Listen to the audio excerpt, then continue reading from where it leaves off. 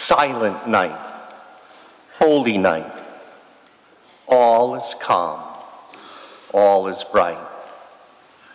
Except perhaps in Bethlehem, where Christians and other Palestinians who live there continue to be penned in behind a 30 foot high concrete wall, unable to travel even the short distance to Jerusalem, probably about five miles away.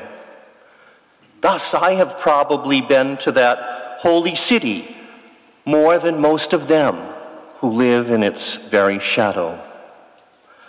Nor is it very calm in Aleppo, where Christians, among other residents, are hunkering down or fleeing for their lives in the midst of a horrendously violent and destructive war. And it isn't too bright in Egypt, where Coptics going to Mass this Christmas will do so in mourning and fear in the aftermath of a church bombing which took the lives of 25 congregants not less than two weeks ago.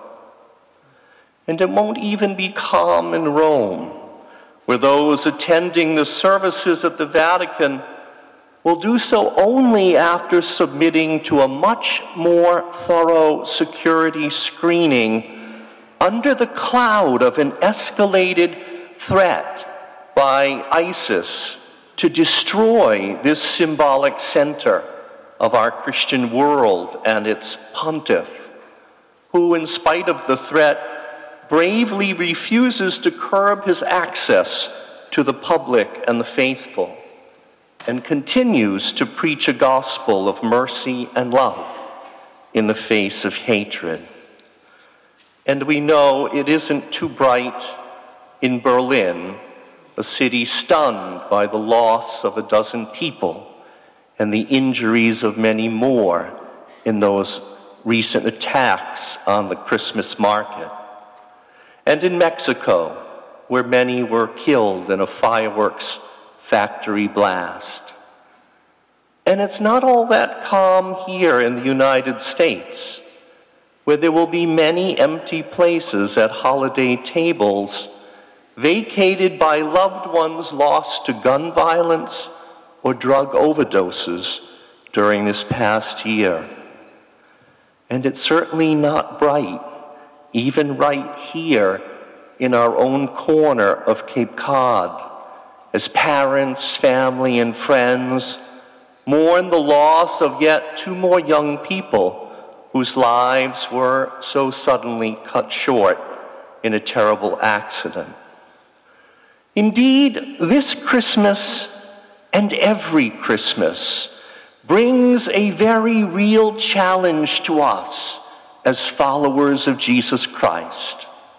Will we try to face Christmas in some sort of picture perfect Currier and Ives myth that's promoted by our culture, or in a merriment that's mindlessly suggested to us by merchants who would like us to believe that if we have this or that product, we will finally have the joy, the fulfillment that we long for. But to be really merry and bright, wouldn't we have to shut off CNN and hide the newspaper? Or better yet, can we take the authentically religious approach to Christmas by daring to look at it and the world squarely in the eye at the same time? If so, then we have to start by admitting the truth that our world is in a mess. And on second thought, to realize that it probably has always been in a mess to some degree or another. It certainly was so in the days when that Christ child came to birth in the humblest of circumstances, with a murderous tyrant, Herod, ruling nearby in Jerusalem. and the peace of Rome maintained throughout a large empire, not by people living moral lives, but by military might.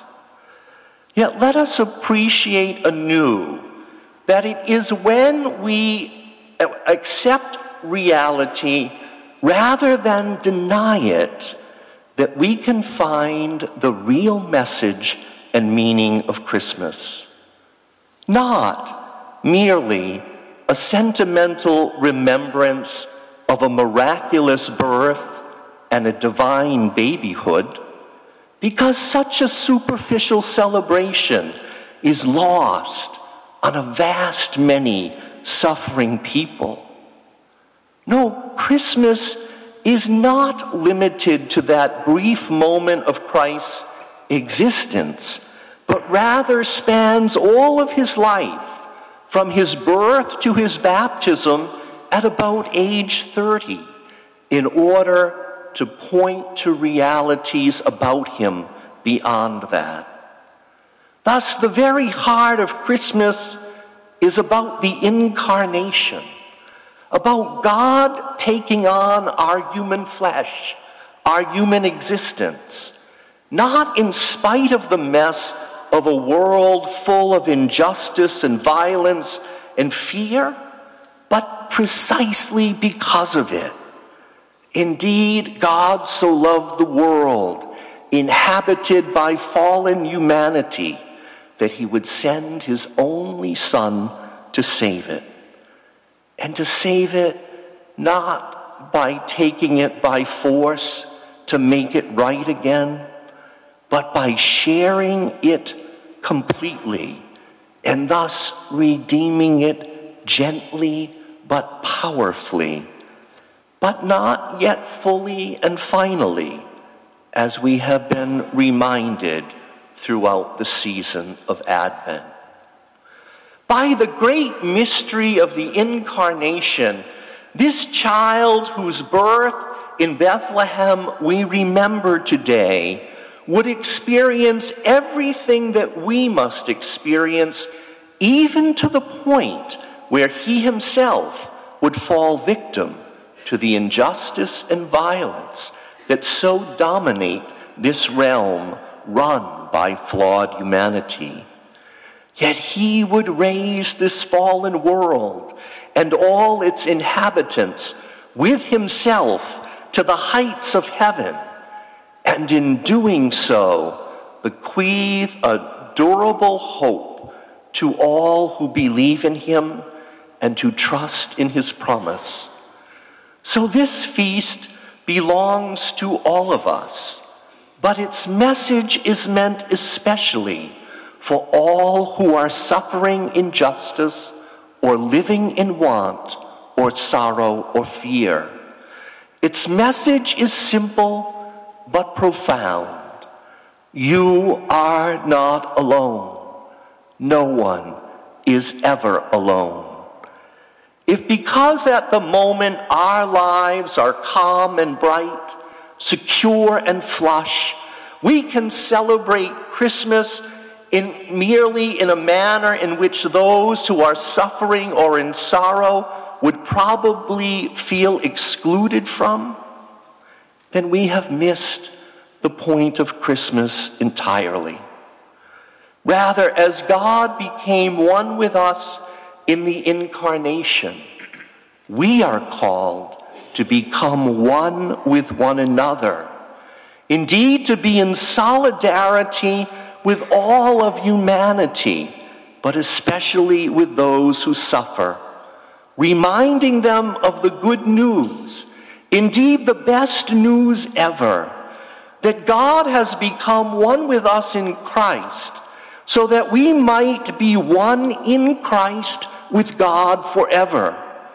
When we know this and live this, then we can sing Silent Night or any other carol with conviction and integrity, assured that even in the face of much that should still disturb us in this world, there is a reason to remain calm, even in the face of all the trouble of this world, and in the face of its darkness, there is always a light that is shining. Because Christ, Emmanuel, God ever with us and among us, is the reason for serenity in the face of this world's turmoil and the true light that no darkness can ever overcome.